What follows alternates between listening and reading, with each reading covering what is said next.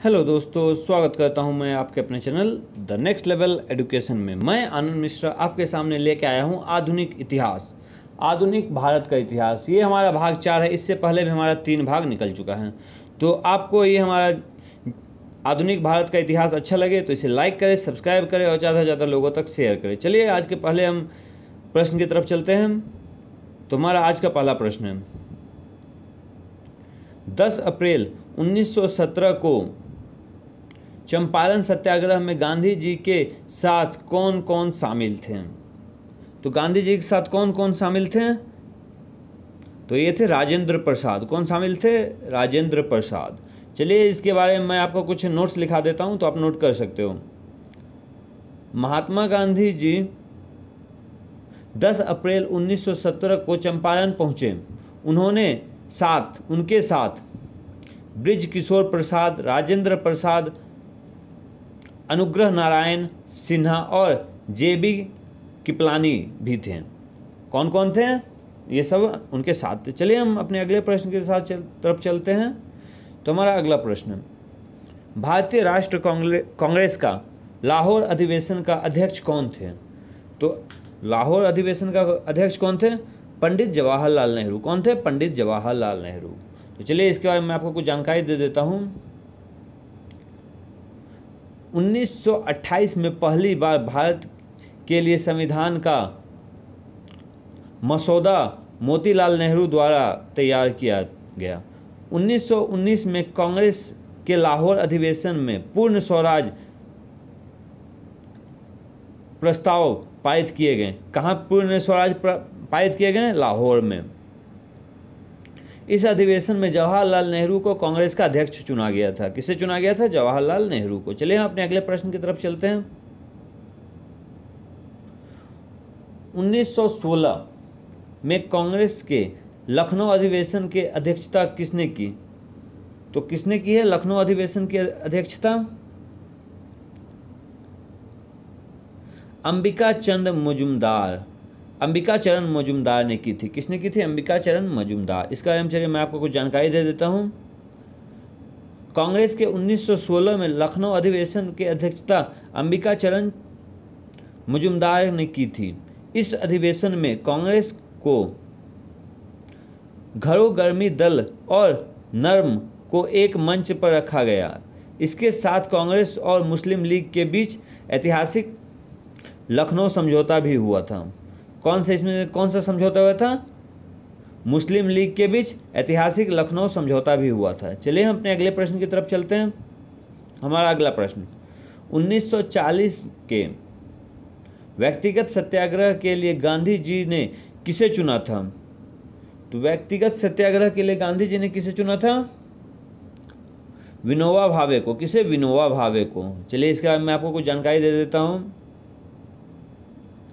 अगस्त प्रस्ताव के दौरान गांधी जी ने सविनय अवज्ञा शुरू करने का सुझाव दिया। इसके लिए गांधी जी ने आचार्य विनोबा भावे को पहला सत्याग्रह ग्रही चुना और जवाहरलाल नेहरू को दूसरा सत्याग्रही चुना। चलिए हम अपने अगले प्रश्न पे चलते हैं। हमारा आज का अगला प्रश्न प्रत्यक्ष कार्यवाही दिवस 16 अगस्त 1946 को किस किसके द्वारा मनाया गया? तो किसके द्वारा मनाया गया था ये? मुस्लिम लीग के द्वारा। किसके द्वारा? मुस्लिम लीग के द्वारा। चलिए इसके बारे में मैं आपको कुछ जानकारी दे देता हूँ। मुस्लिम लीग ने 16 अगस्त 1946 को प्रत्यक्ष कार्यवाही दिवस के रूप में मनाया था। क्या मनाया था? प्रत्यक्ष कार्यवाही के रूप में। इसका उद्देश्य मुस्लिमों, मुस्लिम दंगे उत्पन्न करना, यह सिद्ध करना था। कि हिंदू और मुस्लिम समुदाय साथ नहीं रह सकता। क्या था उनका कहना कि हिंदू और मुस्लिम आपस में मिल के नहीं रह सकते? चलिए हम अपने अगले प्रश्न की तरफ़ चलते हैं। तो हमारा आज का अगला प्रश्न। अठारह में गणपति त्यौहार किसने शुरू किया? अठारह सौ तिरानवे में गणपति त्यौहार किसने शुरू किया? लोकमान्य तिलक। किसने? लोकमान्य तिलक। चलिए इसके बारे में आपको कुछ जानकारी दे देता हूँ। बाल गंगाधर तिलक ने वर्ष अठारह सौ तिरानबे में गणपति उत्सव की शुरुआत की। धीरे धीरे महाराष्ट्र का यह त्यौहार पूरे देश में मनाया जाने लगा। चलिए हम अपने अगले प्रश्न पे चलते हैं।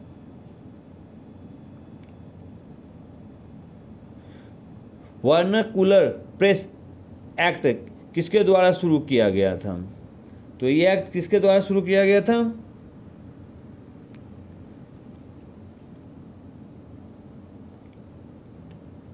लॉर्ड लिटन के द्वारा। किसके द्वारा? लॉर्ड लिटन के द्वारा। चलिए इसका मैं आपको कुछ जानकारी दे देता हूँ। भारत में देसी प्रेस का प्रतिबंध लगाने के लिए लॉर्ड लिटन ने 1878 में, कब 1878 में वार्नाकुलर प्रेस अधिनियम लागू किया था? कब लागू किया था? 1878 में। इस अधिवेशन के द्वारा राष्ट्रवादी अखबार सोम प्रकाश का पर सबसे पहला प्रतिबंध लगाया गया था। किस अखबार पर सबसे पहले प्रतिबंध लगाया था? सोम प्रकाश पर। चलिए हम अपने अगले प्रश्न की तरफ़ चलते हैं। हमारा अगला प्रश्न है 1907 में कांग्रेस 1907 में कांग्रेस के सूरत अधिवेशन के अध्यक्ष, अध्यक्षता किसने की थी? तो किसने की थी? ये रास बिहारी बोस ने, किसने? रास बिहारी बोस ने। चलिए इसके बारे में आपको कुछ जानकारी दे देता हूँ। रास बिहारी बोस ने कांग्रेस के सूरत अधिवेशन की अध्यक्षता की थी। इस अधिवेशन में कांग्रेस का विभाजन गरम दल और नरम दल में हुआ था। इसमें क्या हुआ था? गरम दल और नरम दल का विभाजन हुआ था। मतलब चलिए अपने अगले प्रश्न की तरफ़ चलते हैं। मद्रास लेबर यूनियन की स्थापना किसने की थी? तो मद्रास लेबर की स्थाप, यूनियन की स्थापना किसने की थी? बीपी वाडिया ने। किसने? बीपी वाडिया ने। इसके बारे में चलिए मैं आपको कुछ जानकारी दे देता हूँ। मद्रास लेबर यूनियन भारत का पहला पंजीकृत था। क्या था? पहला पंजीकृत था। इसकी स्थापना बीपी वाडिया ने की थी। ने बी कल्याण सुंदरम के साथ मिलकर किए थे। किसके साथ मिलकर किए थे? बी कल्याण सुंदरम के साथ मिलकर। चलिए हम अपने अगले प्रश्न की तरफ़ चलते हैं।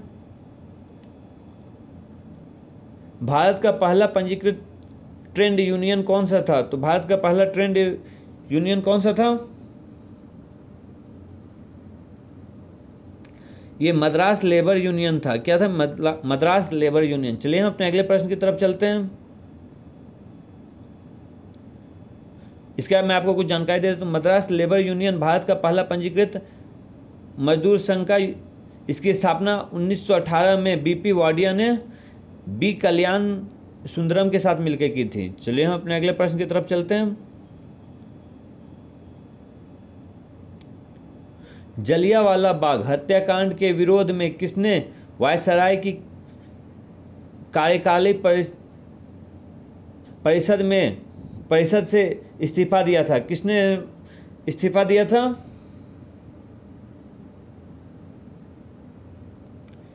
शंकर नारायण ने। किसने? सकरन नारायण ने। चलिए इसके बारे में मैं आपको कुछ बताता हूँ। जलियावाला बाग के विरुद्ध के फलस्वरूप सकरन नायर ने वायसराय की कार्यवाही परिषद से इस्तीफा दिया था। किसने दिया था? सकरन नायर ने, किसने? सकरन नायर ने दिया था। चलिए अपने अगले प्रश्न पे चलते हैं। जलियावाला बाग हत्याकांड किस दिन घटी थी? तो जलियावाला हत्याकांड किस दिन घटी थी? तेरह अप्रैल 1919 को। कब तेरह अप्रैल 1919 को घटी थी ये? चलिए, अब इसका मैं आपको कुछ जानकारी दे देता हूँ। जलियावाला बाग हत्याकांड 13 अप्रैल 1919 को अमृतसर में जलियावाला बाग की घाटी थी। इस दिन लोग रोबोट एक्ट के विरोध के लिए जलियावाला बाग में एकत्र हुए थे। क्या हुए थे? किस एक्ट के लिए? रोबोट एक्ट के लिए। चलिए हम अपने अगले प्रश्न पे चलते हैं।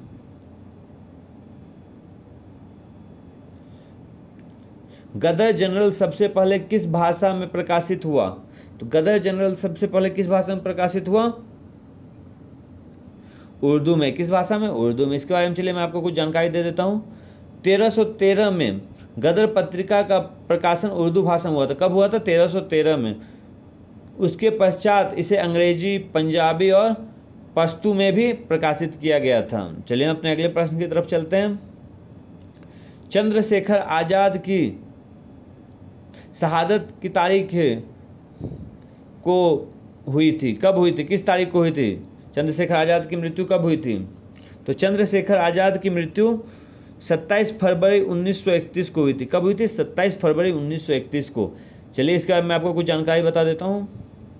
चंद्रशेखर का जन्म 23 जुलाई 1906 के मध्य भारत में हुआ था। एक मुठभेड़ में 27 फरवरी 1931 में वे शहीद हो गए थे। चलिए हम अपने अगले प्रश्न की तरफ़ चलते हैं। हमारा आज का आखिरी और अंतिम प्रश्न, भारत में पहली बार जनगणमन, जनगणना कब की गया? भारत में पहली बार जनगणना कब किया गया था? तो भारत में पहली बार जनगणना उन्नीस सौ बहत्तर में किया गया था। इसलिए इसके बारे में आपको कुछ जानकारी दे देता हूँ। भारत में पहली बार अठारह सौ बहत्तर में जनगणना किया गया था, परंतु व्यवस्थित प्रकार से अठारह सौ इक्यासी में पहली बार जनगणना किया गया था। मतलब अच्छे प्रकार से कब किया गया था? अठारह सौ इक्यासी में और अठारह सौ बहत्तर में नॉर्मली जनगणना हुआ था। और दोस्तों, आपको ये हमारा जीके का सेट कैसा लगा? अच्छा लगा तो लाइक करें सब्सक्राइब करें और ज़्यादा से ज़्यादा लोगों तक शेयर करें। जय हिंद, जय भारत।